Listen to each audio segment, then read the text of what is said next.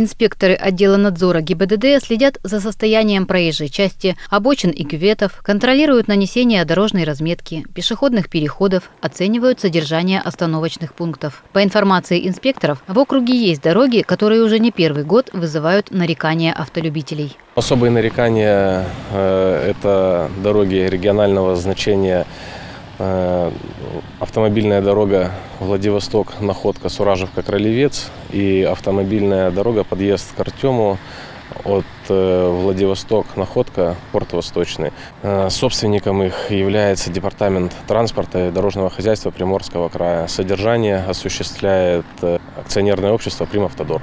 Как сообщил старший инспектор дорожного надзора отдела ГИБДД ОМВД России по городу Артему Виталий Родионов, собственнику и организации, обслуживающей данные дороги, неоднократно выдавались предписания об устранении нарушений. К примеру, разметка на Суражевской дороге отсутствует уже 4 года, а мост давно требует ремонта.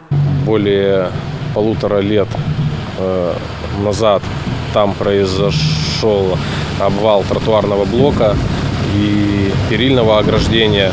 Отделом ГИБДД неоднократно направлялась информация собственнику, которым является Департамент транспорта и дорожного хозяйства, прокуратуру э, города Артема. Но пока каких-то особых мер да, по приведению данного мостового сооружения в надлежащее состояние мы не видим. Также составлялись административные материалы за данное нарушение, что ну, мостовое сооружение находится в ненормативном состоянии. Но собственник пока мер никаких не принимает. Между тем, штрафы за некачественное содержание автомобильных дорог весьма внушительны и достигают порядка 300 тысяч рублей в зависимости от нарушения. Но есть и другая сторона вопроса. По информации отдела ГИБДД, автоаварии из-за некачественных дорог в Артеме не зафиксированы. А значит, качество дорожного полотна в округе не вызывает серьезных опасений. Луиза Сысоева, Тарас Боднарук, Светлана Нурик. Городские новости.